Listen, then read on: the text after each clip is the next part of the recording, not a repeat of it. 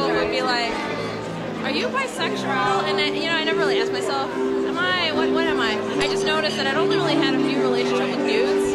and that like when I was with certain girls, like I would start kind of like hitting on them, and I think they would pick it up, and they'd be like,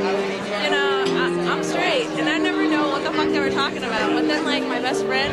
uh, she took me to Pride, she's bisexual, and uh, I was like, oh yeah, sweet, whatever. And then I go, and I kind realize that this is like an atmosphere that I really love. And uh, like, there's chicks, and I'm like,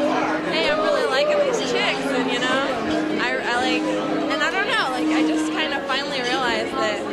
I was a girl lover, you know, and I think that that brought me to a wider spectrum of like social justice, especially in Austin, because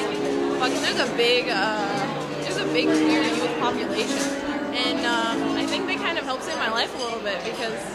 it was like, I don't know, like in this figuring out that I'm definitely gay, it, was a little bit uncertain, and um, and uh, I don't know. I think that coming out was a a process out of like silence, maybe,